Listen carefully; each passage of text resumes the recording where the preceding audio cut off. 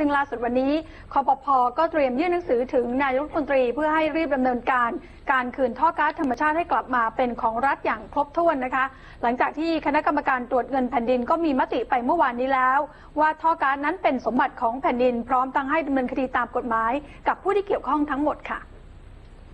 นายปันเทพพัวพงพันธ์ก็ได้มีการโพสต์ข้อความใน Facebook นะคะ โดยบอกว่าเครือข่ายประชาชนปฏิรูปพลังงานหรือว่าคอปพขอเชิญประชาชนผู้รักชาติ และพี่น้องสื่อมวลชน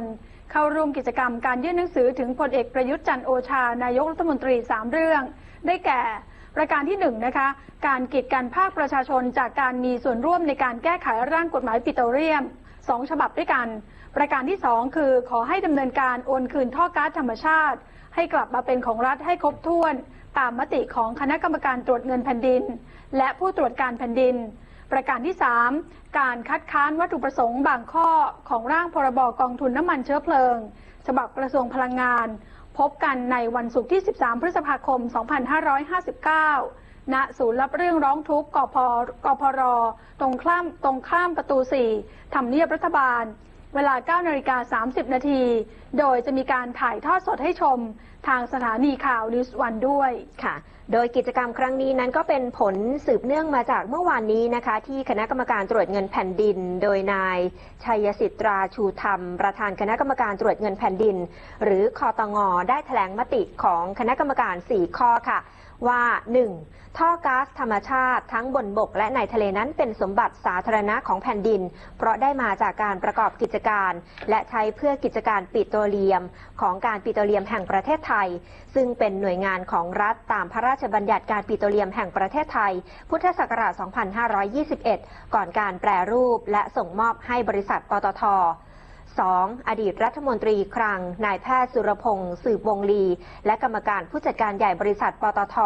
นายประเสริฐบุญสัมพันธ์และพวก ฝ่าฝืนมติคอรมอและมีพิธีการน่าเชื่อว่าปฏิบัติหน้าที่โดยมิชอบ ก่อให้เกิดความเสียหายแก่รัฐ โดยส่งมอบท่อก๊าซธรรมชาติไม่ครบถ้วน ตามคำพิพากษาของศาลปกครองสูงสุดขาดไป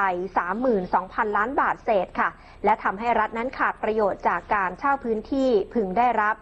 นอกจากนี้ยังยื่นคำร้องอันเป็นเท็จต่อศาลปกครองสูงสุด ว่าได้ดำเนินการส่งมอบก๊าซท่อก๊าซคืนครบแล้วนะคะ โดยไม่รอผลตรวจสอบและรับรองจากสตงตามมติคอรมอก่อน และไม่เสนอขอความเห็นชอบต่อคอรมอตามพระราชบัญญัติทุนรัฐวิสาหกิจ พุทธศักราช 2542 มาตรา 44 ก่อนค่ะประการที่3นะคะให้ส่งเรื่องให้ปปชพิจารณาดำเนินคดีอาญา อดีตรัฐมนตรีคลัง กรรมการผู้จัดการใหญ่บริษัทปตทกับพวก เนื่องจากมีพฤติกรรมอันน่าเชื่อว่า ปฏิบัติหน้าที่โดยมิชอบ ก่อให้เกิดความเสียหายแก่รัฐ ทั้งให้ผู้บังคับบัญชาดำเนินการทางวินัย และความรับผิดชอบทางละเมิดด้วย และ 4. คอตงอาศัยอำนาจตามมาตรา 44 46 และ 15 แห่งพรบประกอบรัฐธรรมนูญ ว่าด้วยการตรวจเงินแผ่นดิน พุทธศักราช 2542 ขอให้นายกรัฐมนตรี รัฐมนตรีว่าการกระทรวงการคลัง รัฐมนตรีว่าการกระทรวงพลังงาน และคณะกรรมการผู้จัดการใหญ่บริษัทปตท รวมถึงผู้ที่เกี่ยวข้อง ดำเนินการให้มีการส่งมอบท่อก๊าซที่ขาดไปคิดเป็นเงิน 32,000 ล้านบาทเศษ แก่กระทรวงการคลัง และให้ครมยื่นคำร้องต่อศาลปกครองสูงสุด เพื่อให้มีการบังคับคดีที่ถูกต้องครบถ้วนต่อไปภายใน 60 วัน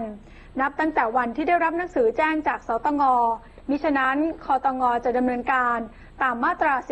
17 63 และ 64 แห่งพรบประกอบรัฐธรรมนูญว่าด้วยการตรวจเงินแผ่นดิน พุทธศักราช 2542 และประมวลกฎหมายอาญามาตรา 157 และพรบความผิดของพนักงงานในองค์การ หรือหน่วยงานของรัฐ พุทธศักราช 2502 มาตรา 11 ต่อไป ส่วนท่าทีของรัฐบาลในเรื่องนี้นะคะ นายวิษณุเครืองาม รองนายกรัฐมนตรีก็บอกว่ายังไม่ได้รับเรื่องนี้อย่างเป็นทางการ แล้วก็จะต้องดูในรายละเอียดอีกครั้ง ว่าหนังสือของสตงนั้นจะมีความชัดเจนเพียงใด เพราะปตทได้ยืนยันว่าดำเนินการครบถ้วนแล้วตามคำพิพากษาของศาลปกครอง ทั้งนี้รัฐบาลไม่จำเป็นต้องปฏิบัติตามมติคอตงทุกกรณี ต้องดูน้ำหนักข้อกฎหมาย และเหตุผลว่าเขาได้อ้างมาตราใด และดำเนินการอย่างไรบ้างค่ะ